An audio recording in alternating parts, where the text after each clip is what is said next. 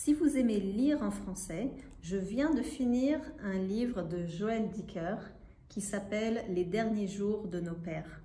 C'est un roman exceptionnel qui parle de la période de la Deuxième Guerre mondiale, avec des Français qui se sont engagés dans le, service d'espionnage euh, britannique.